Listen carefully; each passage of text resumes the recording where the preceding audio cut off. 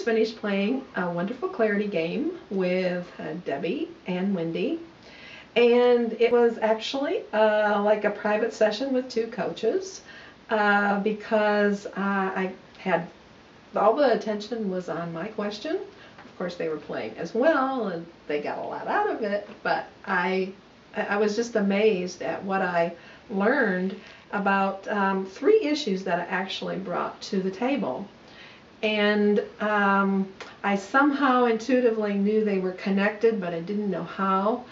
And in the process of uh, identifying the question, um, the skill of both of these women came forward and they uh, were very, very helpful in identifying what the question was and then throughout the game identifying where the um, issues were uh, being answered and so I'm very grateful to both of them.